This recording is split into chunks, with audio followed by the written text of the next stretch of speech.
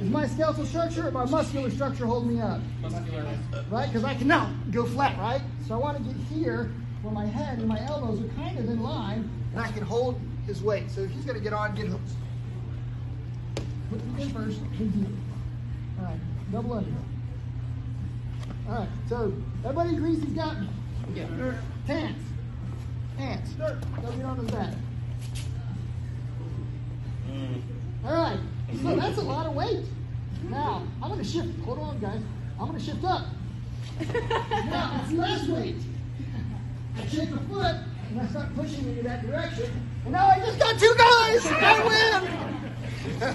All right, so the bottom line is, thank you guys. I'm not showing how cool I am. I'm just showing